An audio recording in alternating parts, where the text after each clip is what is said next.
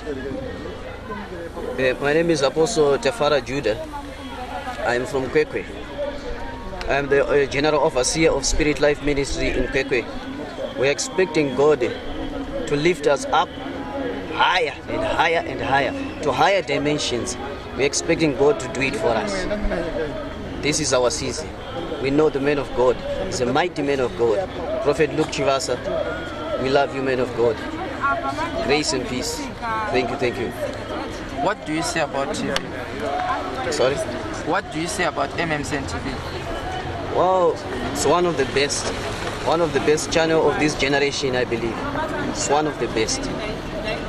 Keep watching MMCN TV.